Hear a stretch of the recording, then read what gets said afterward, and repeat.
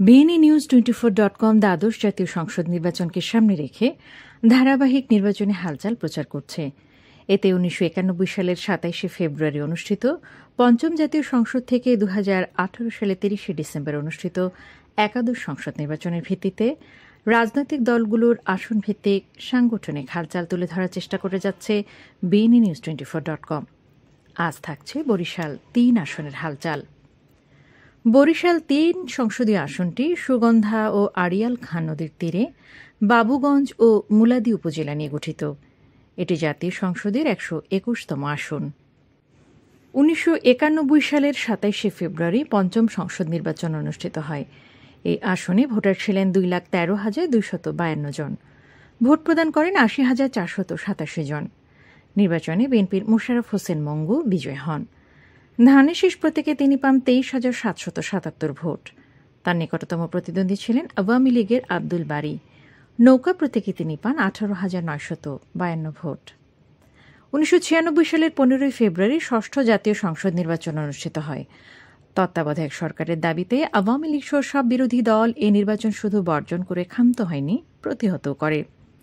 নির্বাচনে BNP, freedom party এবং কিছু নাম সর্বস্ব রাজনৈতিক দল অখ্যাত ব্যক্তি প্রতিদ্বন্দ্বিতা করেন। ভোটারবিহীন নির্বাচনে বিএনপির মোশারফ হোসেন মঙ্গুকে বিজয়ী ঘোষণা করা হয়। ষষ্ঠ জাতীয় সংসদ নির্বাচনের মাধ্যমে গঠিত এই সংসদের মেয়াদ ছিল মাত্র এগারো দিন। তত্ত্বাবধায়ক সরকার বিল পাশ হওয়ার পর সংসদ বিলুপ্ত ঘোষণা করা হয়। উনিশশো ছিয়ানব্বই সালের বারোই জুন সপ্তম সংসদ নির্বাচন অনুষ্ঠিত হয়। নির্বাচনে ভোটার ছিলেন এক লাখ পঁয়ত্রিশ হাজার তিনশত ছিয়াত্তর জন। ভোট প্রদান করেন সাতানব্বই হাজার আটাইশ জন। নির্বাচনে বিএনপির মোশাররফ হোসেন মঙ্গু বিজয়ী হন। ধানের শেষ প্রতীকে তিনি পান আটচল্লিশ হাজার একচল্লিশ ভোট। তার নিকটতম প্রতিদ্বন্দ্বী ছিলেন আওয়ামী লীগের অধ্যাপক আব্দুল বারি। নৌকা প্রতীকে তিনি পান তিরিশ হাজার ছয়শত পঁয়ষট্টি ভোট। দু হাজার এক সালের পহেলা অক্টোবর অষ্টম সংসদ নির্বাচন অনুষ্ঠিত হয়। নির্বাচনে ভোটার ছিলেন এক লাখ আটানব্বই হাজার তিনশত তেতাল্লিশ জন। ভোট প্রদান করেন এক লাখ আটাইশ হাজার চারশত উনসত্তর জন। নির্বাচনে বিএনপির মোশাররফ হোসেন মঙ্গু বিজয়ী হন।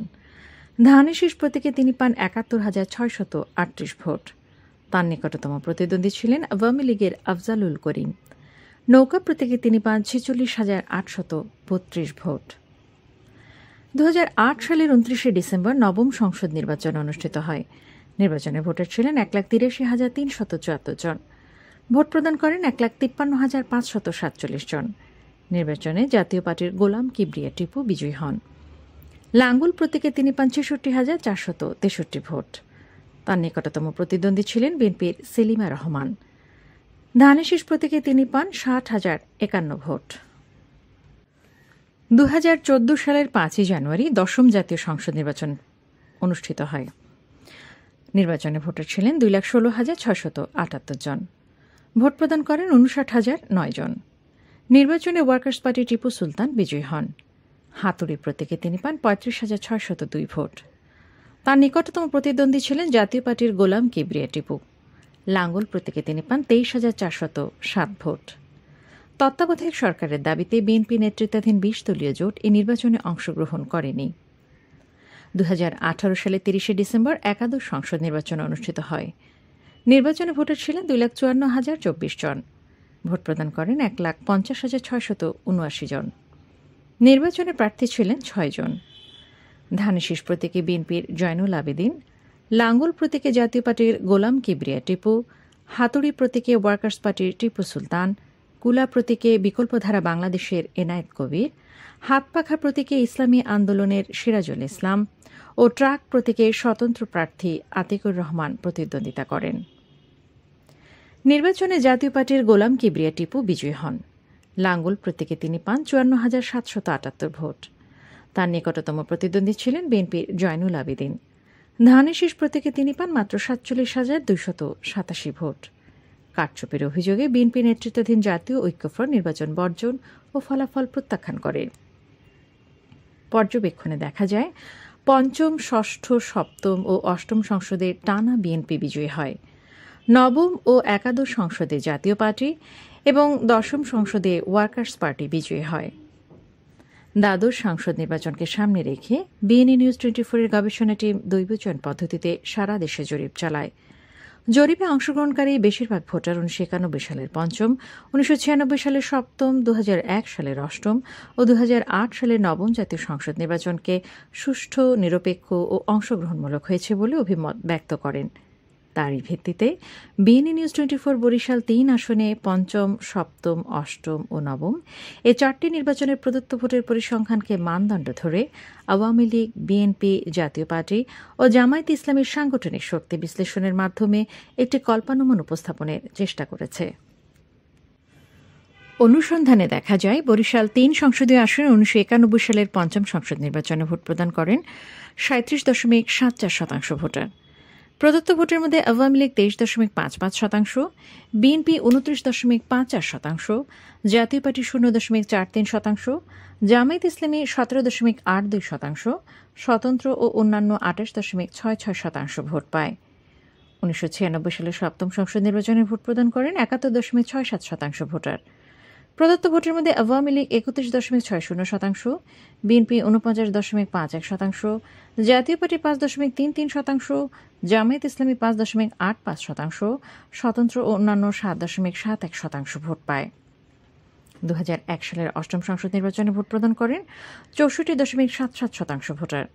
প্রদত্ত ভোটের মধ্যে আওয়ামী লীগ ছত্রিশ দশমিক চার পাঁচ শতাংশ চার দলীয় জোট পঞ্চান্ন দশমিক সাত ছয় শতাংশ, জাতীয় পার্টি সাত দশমিক দুই পাঁচ শতাংশ, স্বতন্ত্র ও অন্যান্য শূন্য দশমিক পাঁচ চার শতাংশ ভোট পায়।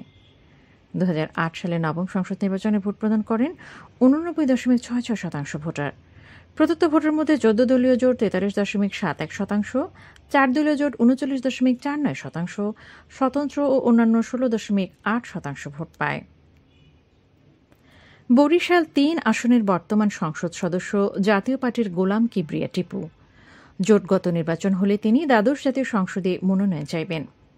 চোদ্দ দলীয় জোট থেকে মনোনয়ন চাইবেন দশম সংসদের সংসদ সদস্য ওয়ার্কার্স পার্টির টিপু সুলতান।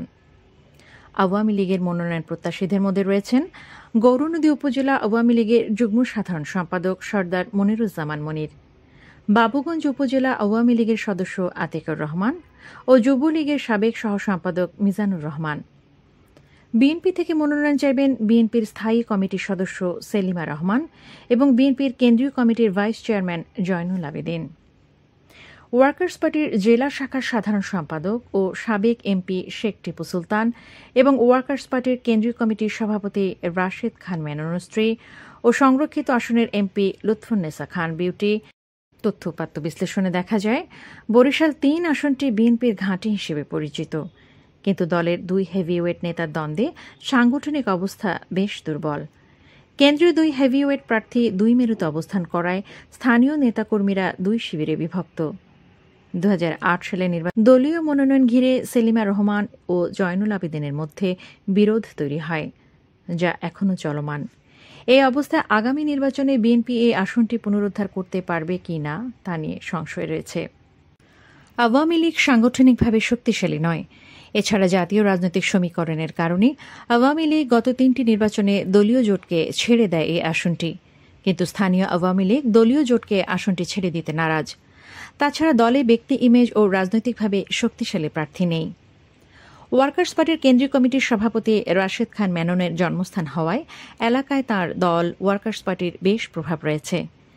একাদশ জাতীয় সংসদ নির্বাচনে জেলার সাধারণ সম্পাদক শেখ টিপু সুলতান নৌকা প্রতীক পেলেও আওয়ামী লীগের স্থানীয় নেতাকর্মীরা তাঁর পক্ষে কাজ করেননি বলে অভিযোগ রয়েছে।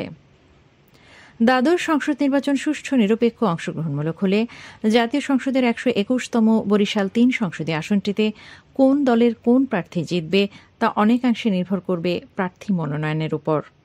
প্রতিবেদনটি ভালো লাগলে শেয়ার করুন, অন্যদের জানার সুযোগ দিন। প্রতিদিন ধারাবাহিকভাবে প্রচারিত আসন ভিত্তিক গবেষণামূলক প্রতিবেদনগুলো দেখুন এবং নিজের রাজনৈতিক জ্ঞানকে সমৃদ্ধ করুন। লাইক, কমেন্ট ও সাবস্ক্রাইব করে বিএনএস টোয়েন্টি ফোরের সঙ্গে থাকুন।